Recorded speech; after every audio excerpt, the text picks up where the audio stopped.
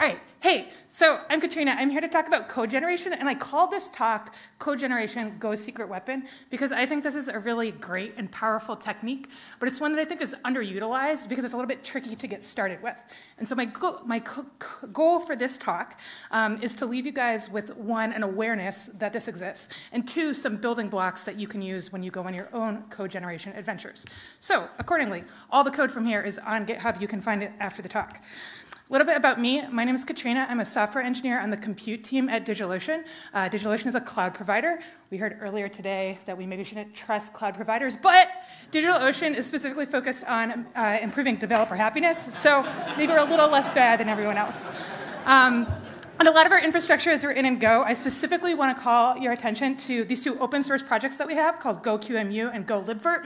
These uh, use code generation, and these are great projects that my coworkers wrote that got me interested in talking about co code generation today. They wrap these big sprawling C APIs with Go code so that you can actually call them from within Go. So if you're interested in code generation production, check these two projects out. They're on GitHub too. All right, so code generation, what is it? Uh, 10,000 foot high level talk you have a template, you've got some data, you've got some logic that's going to mash the template together with the data. You execute from the command line this go generate command, and voila, it produces some output for you. Um, the format of the template is a Go text template, which you may be familiar with from other contexts. The format of the data is a Go interface, so pretty much anything you can mash into that template. And the format of the logic is Go code, so it should look really familiar to you if you've ever written Go before. Um, and then the format of the output is anything at all, but we are going to focus today on producing output that is Go, so it's actual code that you can run elsewhere in your programs. Um, but before we get started with that, let's do a little bit of a hello world example. Um, just because do 10,000 feet, let's go down to nuts and bolts. So here's a file that I'm going to use to generate some code. Um, it's got everything we just talked about. It's got a template. Um, it's got some data. Right now the data is empty because hello world is the most basic possible example you could write, so we don't actually need any data. Um, and we've got some logic that we're going to use to plug those two things together. Um, also, I just want to point out a little bit about the format of this file. Um, this is a regular Go file. I've called it gen.go. You can call it anything you want. Um, and like other Go files, I've uh, written that this is in package main and it's got a main function, but we're not going to run it the same way you normally run code that's in package main. Instead, I've added this tag, go generate, and this is going to tell the Go, tool, hey, when we call go generate, we want you to run go run gen.go, and that's what's going to call all this code. So if we do that, then we'll produce some output file, hello world. Great. The output file is called output.txt because that's the name that I put uh, in the code generator. All right, that was like what it actually does, but why would you ever want to use this? Um, anytime you're copying and pasting a lot, like if you've got all that boilerplate code and you're like, okay, I've got this line, oh, let me just like change a couple letters, let me copy and paste it, change a couple letters again, that's a time when you might want to use code generation. Um, especially if you anticipate that changing in the future and you really don't want to be that person who has to maintain this code by going in and like changing a couple of letters and copying and pasting a bunch of lines uh, in the future. Um, I personally think that the killer app is generating API clients and wrappers uh, like we've done with GoQEMU and GoLibvirt, but it's also useful for other tasks like um, we were talking about enumerated constants in the past. That's something that uh, we've used code generation for before so that you don't have to type all that out. All right, so accordingly, my next example is going to be about auto-detecting JSON schemas from APIs that we consume. So here's the scenario. We've got some sort of REST API. Here in my example, I've taken this example from Instagram. We've got a user response. Uh, they were super creative, so I just left their uh, field names in there. Um, I've made a couple of modifications to this resp response. The most significant one is I took out anything nested because this is the five minute talk and not the 45 minute talk. And if you want to talk about nesting, it gets a lot more complicated. Um, but this will do for us. So we want to take this JSON, we want to unmarshal it into a struct. That way we can do something with it in our Go code.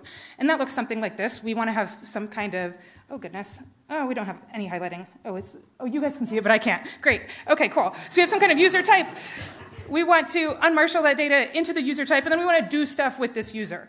And so if we want to do this, we need a type that looks something like this that has all of those JSON fields um, translated into Go. And so this is the type of thing that's like a little bit annoying, might be doing a lot of copying and pasting from JSON. Um, and so we said, can we generate this type? And of course, it's a conference talk, so the answer is yes. Um, And I'm going to give you a caveat, though, especially a modified version. We're going to make it a little bit simpler uh, just to make our lives easier. We're, one, we're going to uh, reorder the fields so that they're just in alphabetical order. That's easier for our generator.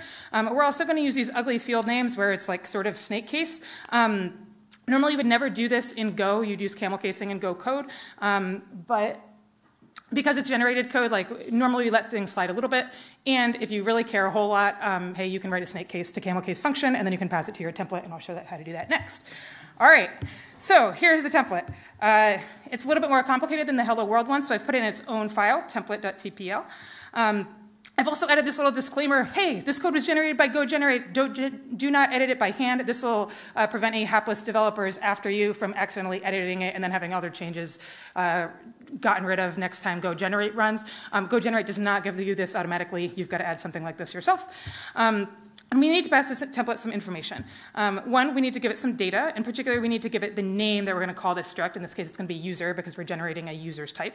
Um, we also need to give it the fields that are going to be in this struct. Um, and so this is uh, this is going to be the map of the JSON names and the values from that original JSON file. We're going to take that and we're going to spit out uh, things that look like, you know, ID, string, uh, username, string, etc.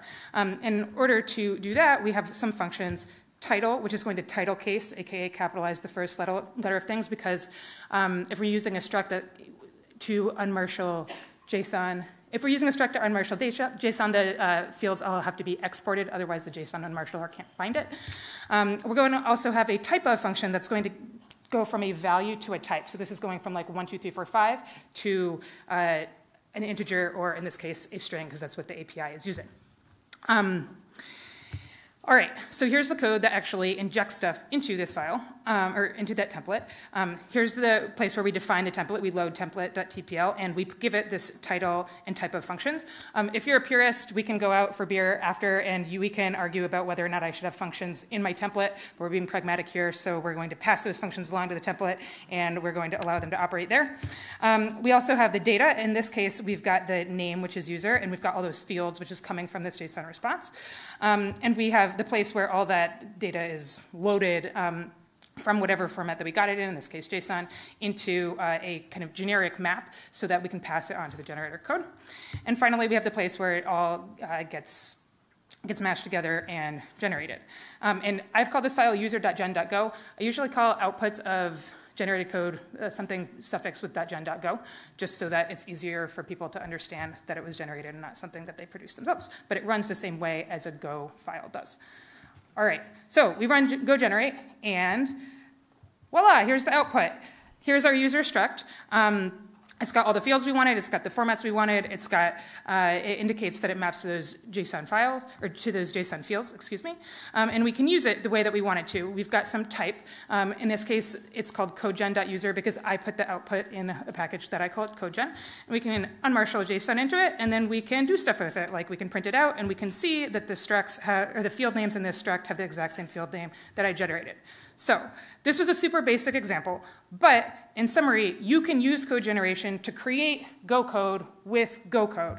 Um, so this is super powerful and cool. Um, this can replace a lot of annoying to maintain that requires a lot of copying and pasting in your code base. All right, that's it. Thanks so much.